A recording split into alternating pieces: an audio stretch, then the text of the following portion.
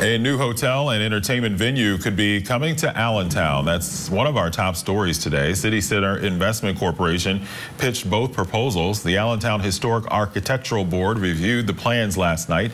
City Center wants to build both on the 900 block of Hamilton Street.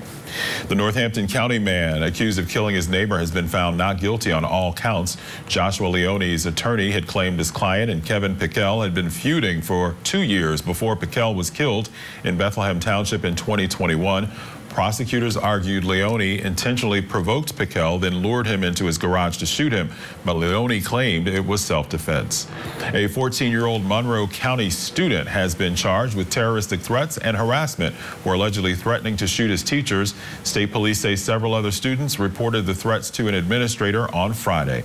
They did not name the school, but said it's on Route 209 in Chestnut Hill Township. We'll see mostly sunshine this afternoon before clouds roll in tonight. We could also see a passing shower, but temperatures will climb into the upper 50s by Friday. For more local news, watch 69 News or get updates at WFMZ.com with the 69 News Netcast. I'm Hasiel Cordoba.